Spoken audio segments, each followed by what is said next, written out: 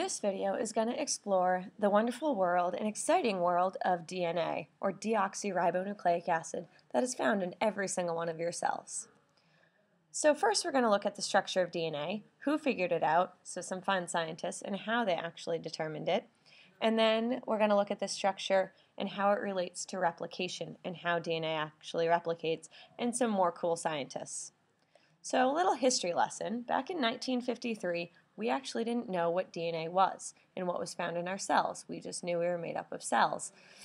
Watson and Crick are two scientists that are pictured on the right that explain the structure.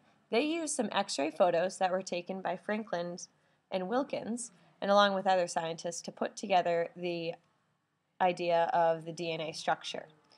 And what they actually found was that there are subunits of DNA which we learned during biochemistry, known as nucleotides. And there are three parts to the nucleotide, deoxyribose, phosphate, and a nitrogen-containing base. So those are the three parts of the nucleotide. And then a whole bunch of nucleotides are strung together and put together in a double-stranded structure.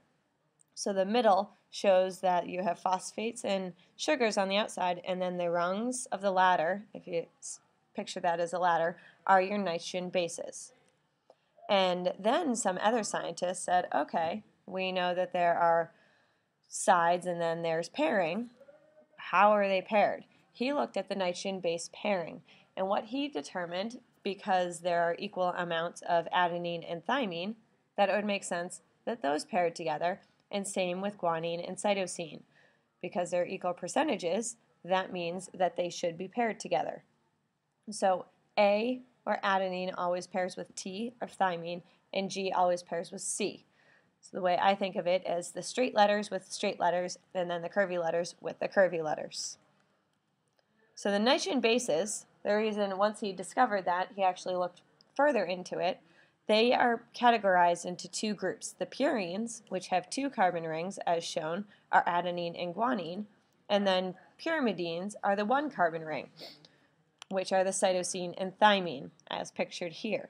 So if you look at that, cytosine does not pair with thymine, but it pairs with guanine, and that is what makes the structure so special. The complementary base pairing. A always pairs with T, with two hydrogen bonds, and G always pairs with C. So you always have, have a three carbon ring across. So they make the same size structure, therefore it makes sense. Or else if you think about a ladder, what would happen if all the rungs were different lengths? Some wouldn't work. So therefore this actually added to Chargaff's idea that A and T always pair together and G and C always pair together. Another aspect of the DNA was the shape and the fact that it's a double helix. It's not actually like a ladder, but it's like a spiral ladder. If you have those spiral staircases in some of the older buildings, that is what your DNA looks like. And each gene, if you remember back to cell division and genetics, has a unique sequence of those bases. So those bases, those nitrogen bases, actually have meaning, and the order of them has meaning. So, as I've said, the sides of the ladder are the deoxyribo and phosphates, and then the rungs are the base connecting them, and they are complementary to each other. Another important aspect to look at for the DNA structure are the bonding. And note it's both covalent and hydrogen, but hydrogen bonds are only found in one location. This is going to be important for replication. They're found between your nitrogen bases. So the sides are hydrogen bonds. The sugar to the base are covalent bonds. So everything's covalent except for the bases. So this is going to be important if we actually need to replicate that those are just the hydrogen bonds. And then the last aspect of the DNA structure are the fact that the chains are anti-parallel, meaning that they run in opposite directions. So if you look at the picture, you have two ends, a 5' end, which is the phosphate group, and the 3' end, which always ends with the sugar group. This is due to the numbering of the carbons, and so the 5' end means that's the fifth carbon sticking out, and the 3' end is the third carbon sticking out but you can name them as the phosphate versus a sugar group. And note they're, the sides are going in opposite direction, so they are what's known as anti-parallel. and it is twisted, as seen in the picture. It's not a straight ladder, but a curved, twisted ladder. Now, once they actually figured out the structure, they had to figure out how it replicated. So how DNA replicated was a big question once they figured out the structure because they know that every cell has DNA, so where does it come from? They came up with three ideas. They were known as semi-conservative, conservative, and dispersive. Now, if you think about experiments and how you go about determining which one was right, you could possibly come up with various experiments. What was actually done was an experiment by Meselson and Stahl where they soaked the DNA in a nitrogen heavy solution. So these are all the pictures of the proposed possibilities. So you have the conservative model, which if you if you look at it, it shows that it's basically photocopying the DNA. So therefore you have your parent cell that has the darker and then your first replication you have a parent, full parent, and then a new one, and then the second replication you get the same thing.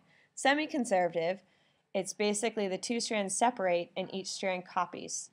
So you'll notice the first replication, you have a parent strand in each and then a new strand in each as well. And then dispersive, you'll see that there's it's all basically random. So you have your parent DNA strand and then your first replicated is just random nucleotides of parent and new put in there all together.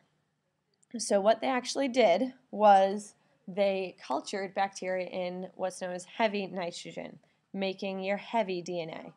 So your parent DNA was all, all what's known as heavy DNA. And then they put it in a light, sol- light nitrogen solution and made the bacteria divide.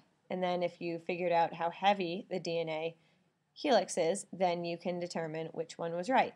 Because if you look at the possibilities, and findings, if it was a conservative, after the first replication, you should have a full heavy and a full light, but they actually didn't find that. So they, after the first replication of the DNA, they discovered the conservative method was wrong because they only ended up with one band of DNA. So it had to be a medium. So if you put light and heavy together, you get a medium.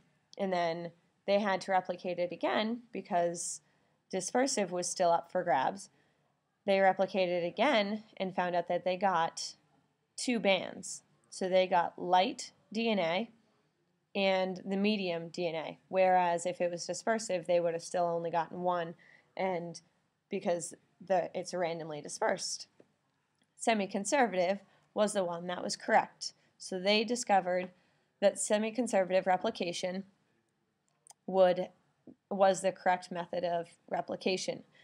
Now the next video will discuss the more specifics on how this actually happens, but if you just look at the basic pictures, you would end up with a you would have a parent strand split down the middle and then the new strand would be added to each. So you'd end up with two DNA molecules that would be identical to one another, but one parent strand and one daughter strand in each DNA molecule.